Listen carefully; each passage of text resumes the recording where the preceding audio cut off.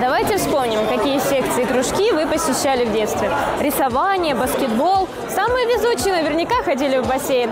Но у современных детей все намного интереснее. Уже с малых лет они программируют и собирают собственных роботов.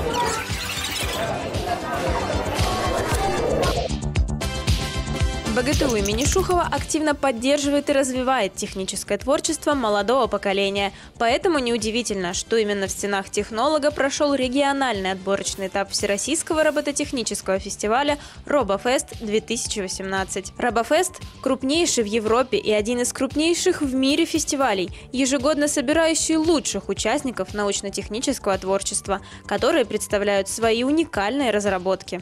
Сейчас очень много э, востребованности в наших э, кружках, то есть э, ищут преподавателей среди наших студентов, которые бы могли преподавать робототехнику, техническое творчество. Очень популярно это, то есть постоянно, и вот действительно в течение года открывается один-два кружка в Белгороде, по крайней мере. А если говорить о Белгородской области, масштаб больше, естественно. Мы ждем от наших ребят побед уже на всероссийском уровне. Да? А те ребята, которые сегодня победят здесь, они фактически получат в том числе бонусы к поступлению. Участники этого фестиваля – школьники начальных и старших классов со всей Белгородской области. Вот этот робот участвует в номинации «Чертежник».